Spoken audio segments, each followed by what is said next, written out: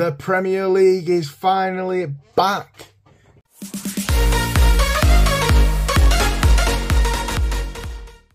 Hello guys and welcome to Stevie C TV.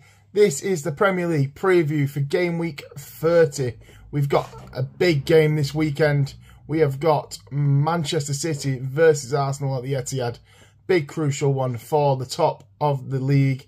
And who is going to finish top of the league by the end of the season? I'm sure this fixture will give us an idea on uh, how that one's going to go. Before we start to get into the fixtures, guys, please like this video, subscribe to the channel, and make sure we're sharing it out so other people can see my predictions as well. For the first game, guys, we have got Newcastle versus West Ham. With this one, I think we're looking at a Newcastle win. I'm going to go with a 2-1 win here for Newcastle. Uh, Newcastle are going to struggle a bit, though, because defensively they have lost Botman for nine months. Um, he's going to be a big, big miss. Um, and again, he's going to miss the Euros now. Um, he's a crucial player for Newcastle and their defensive line. Lascelles is going to have to step up if, if Lascelles is the replacement. Um, but I don't think he's got the quality that Botman has, but he brings a different style of play to the game. So let's see what Newcastle can do. As for West Ham, though, they got a point against Aston Villa last time, which was a surprise for me. So can they go out and get a win against Newcastle? The teams are quite level in the league, so let's see. But I'm still going with that 2-1 win. Next game is Bournemouth versus Everton. Um, I think this is going to be a board draw, nil-nil. I think uh, Bournemouth have got good quality in their uh, attacking side. Uh, they've got Semenyo, they've got Solanke, people who are getting on score sheet. Obviously, Solanke's been out injured for a few weeks, but he is back in that starting lineup properly now. And then as for Everton, they're creating chances, but they need to be more clinical up front. They need to put that ball in the back of the net.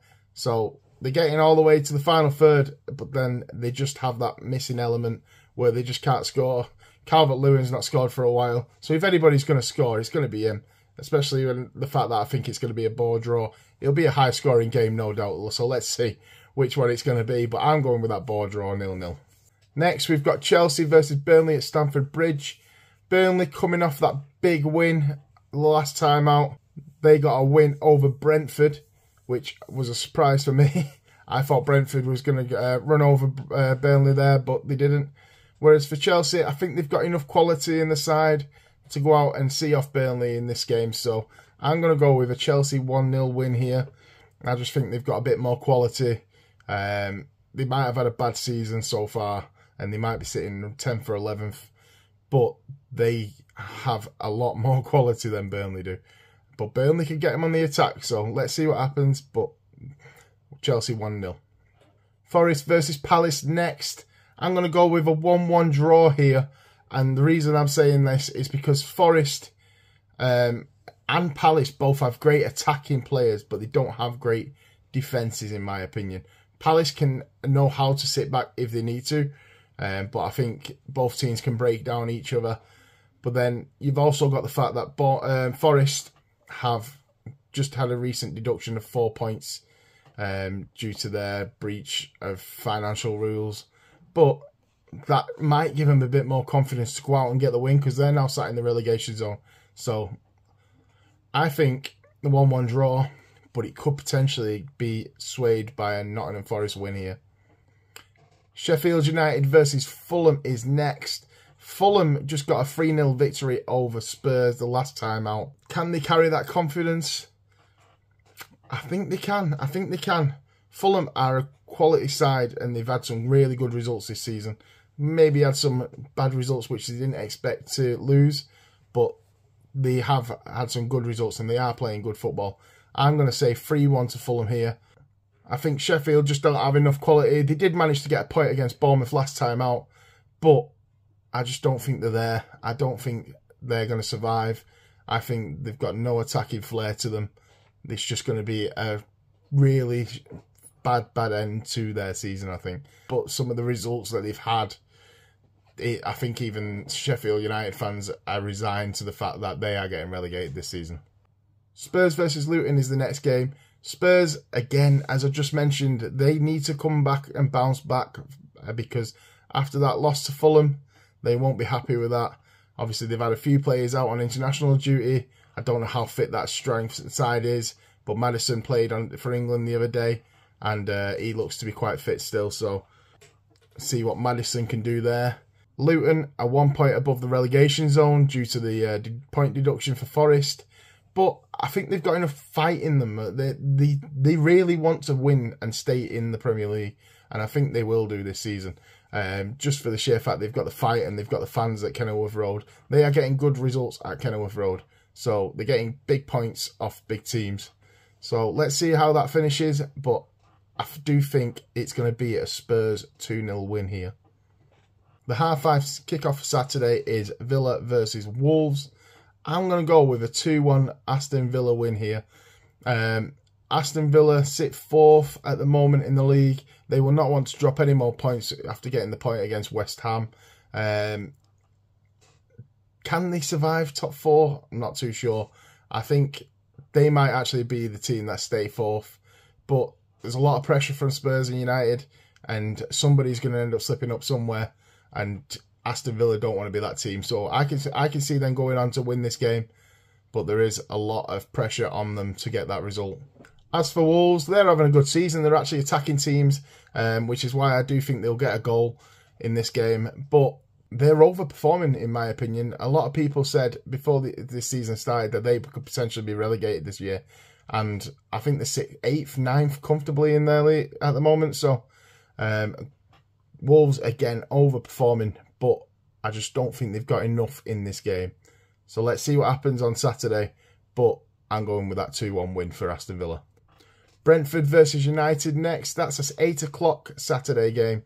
I think United can go on and win this game 2 0.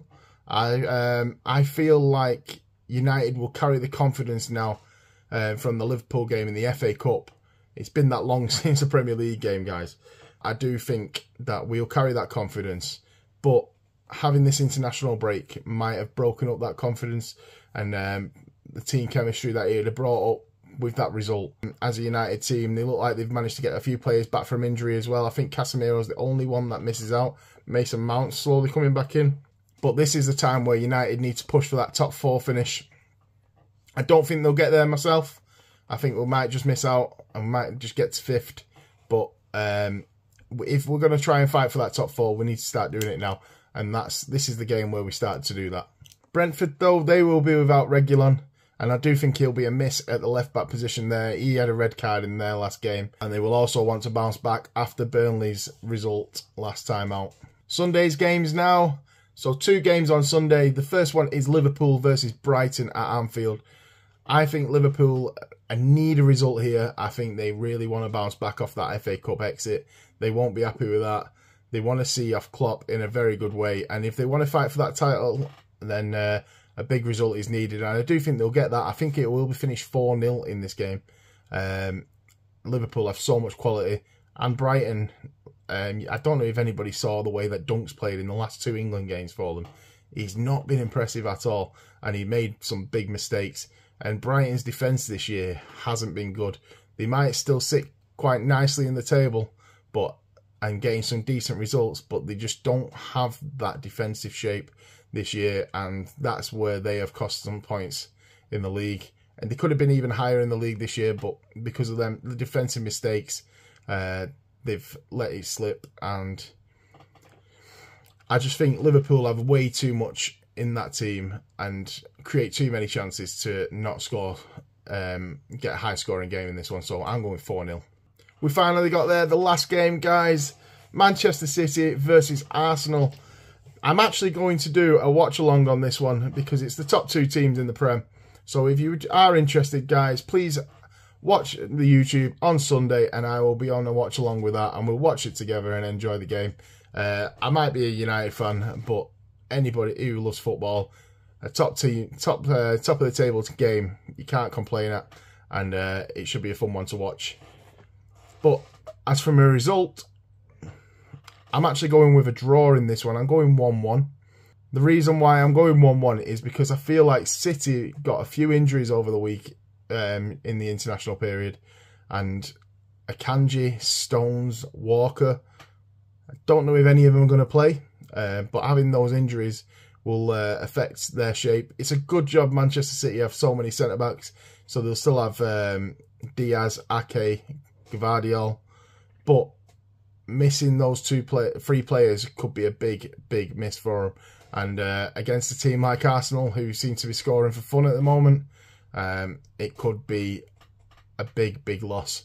And um, Arsenal want to thrive off that, and they could go and get the win. But I'm going with a one-one draw. This is Arsenal's title to lose now, though. And they are sat first in the league. Yes, it might be off goal difference, but they are still first. And um, losing points here could be crucial to them. So they won't want to lose any points, but I do see Manchester City's crowd getting behind them. Yes, I'm saying it as a United fan. I do actually feel like the the fans will get behind City, and this is the time when City usually turn it on. Um, so it could go either way this game, but I'm going with a 1-1 draw. That's been the video, guys. Like this video, subscribe to the channel, let me know your opinions, guys. Let me know your opinions. We've also got Discord, so you can get your opinions on there as well now. I'll put the link in the description on this video, and you can uh, try and jump into the Discord invite there. As well, we're on Spotify, so if you do like listening to podcasts rather than watching the videos, then we do have that option as well, guys. So, again, please like the video, subscribe to the channel. I'll see you on the next one. Bye-bye.